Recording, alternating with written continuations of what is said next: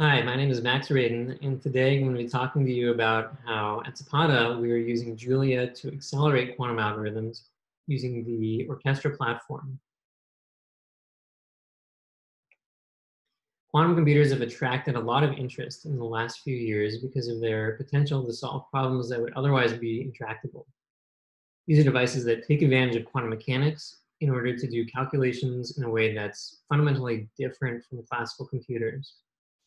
Here at Zapata, our mission is to deliver quantum advantage to real world use cases. As part of pursuing that mission, we've discovered that in addition to the challenges in understanding quantum devices and quantum algorithms, there's a lot of very practical challenges in applying those algorithms to real world use cases.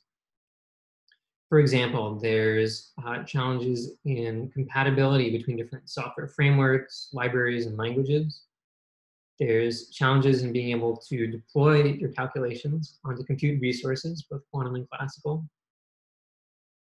Uh, there's challenges in all the bookkeeping, in keeping track of all of the data that's produced by your experiments, uh, as well as keeping a record of how exactly those experiments were conducted. So that way you can repeat them and build upon them.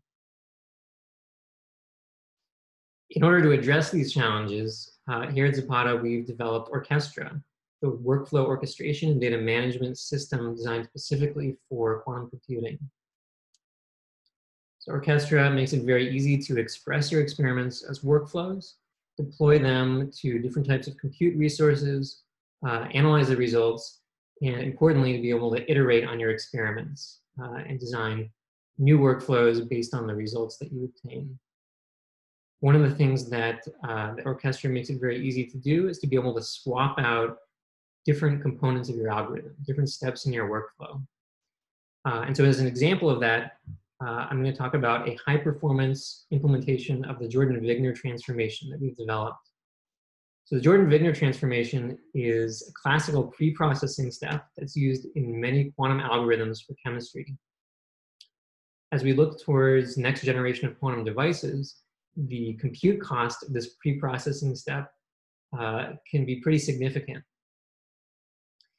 So here you can see the performance of the Julia implementation developed at Zapata compared to um, a state-of-the-art uh, Python implementation that's widely used in the quantum community.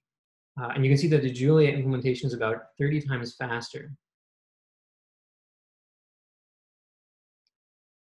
If you're interested in learning more about Orquestra, you can reach out to us at orquestra at zapatacomputing.com. Uh, I also want to highlight that we are hiring for a number of engineering roles as well as internships. And so I would invite you to take a look at our website to learn more about that.